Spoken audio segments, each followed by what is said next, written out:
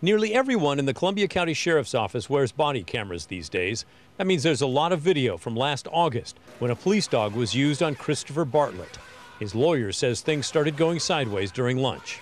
Brings him his lunch tray. Mr. Bartlett does say and a few unkind things.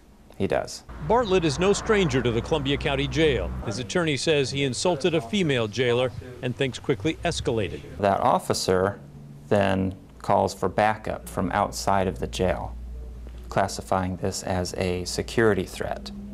That, that Mr. Bartlett is taking his lunch tray and threatening officers' lives, and the video just, just doesn't support that. The video shows a group of deputies gathering outside Bartlett's cell. There's a police dog barking. He's told to put his hands through the opening to be handcuffed and does not. And then the door is unlocked and the police dog attacks.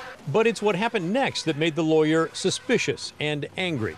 He said no one involved in the use of force wrote up a report until the video turned up two months later. And those reports, they just, they did not match what the video showed at all. He said they're supposed to be written individually. I also thought that it was odd that many of the reports had the exact same language, the same typos, so we were fairly confident that there was a high level of coordinated efforts going on to get their story straight. And so the lawyer sued, demanding $500,000 for cruel and unusual punishment.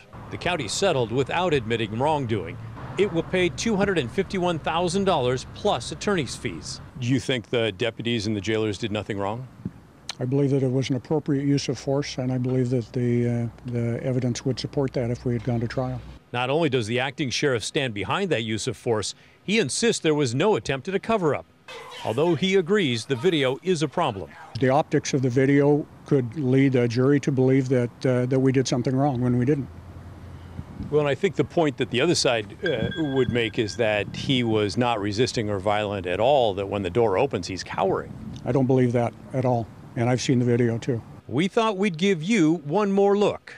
This is a slowed down version from the body camera of the dog handler. You decide is the inmate cowering or attacking?